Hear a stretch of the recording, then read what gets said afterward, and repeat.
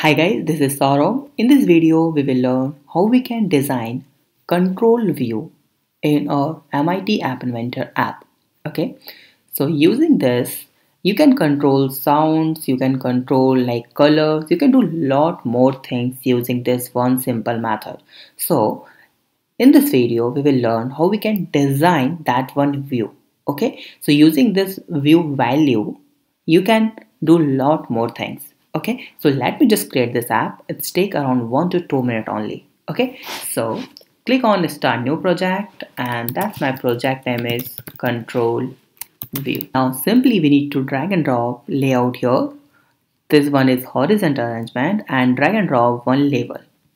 Okay? And change this label value to 0 and make this horizontal arrangement to fill parent.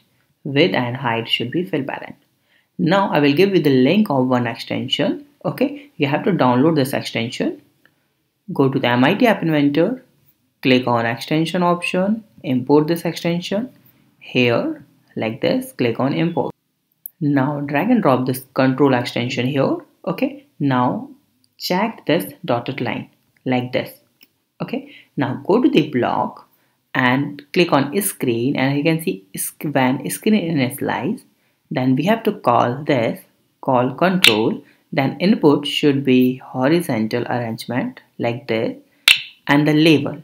It, it's just a label so I'm to use your volume. You can use anything or using color or volume. And now click on this control and you can see when control progress change then we have to change label one dot text value okay this one is the value from 0 to 50 okay so using this one value you can increase and decrease sounds you can change color you can do a lot more thing using this value. Okay so let me just uh, run this app in my emulator and let's see how it's work. So you can see that's the design. Okay you just need to drag this here like this. You can see.